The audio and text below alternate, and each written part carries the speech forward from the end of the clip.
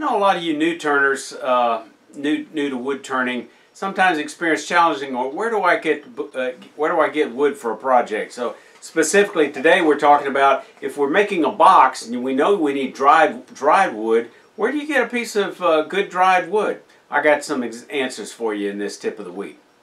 My solution has been to uh, turn the box green like a bowl and then let it let the blank uh, dry for a while. Matter of fact, I got a video on that. I'll have a link at the end of this uh, uh, tip of the week on roughing out a box. But this is not a, a good solution for everybody because it takes a long time.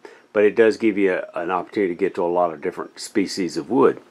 All right, you might go to a lumber mill and you might find a place that stocks uh, large stock uh, like this.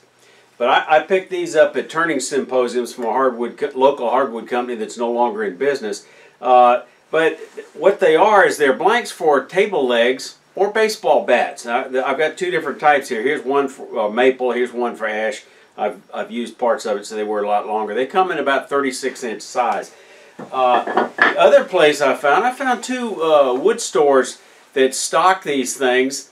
Uh, one is Rockler. I've got a link, I've got a picture of it here, that they're selling uh, either table legs or baseball bat blanks such as this one. This one I picked up on sale at Woodcraft. It was a uh, regularly it was for about $24.49, but I think I got it for a little over $16. Uh, I'm going to use this for uh, a box turning uh, workshop for my, my club. It's a little under 3 inches, but it's hard maple. It's dried, so this, this is a great uh, way to get it as baseball bat blanks.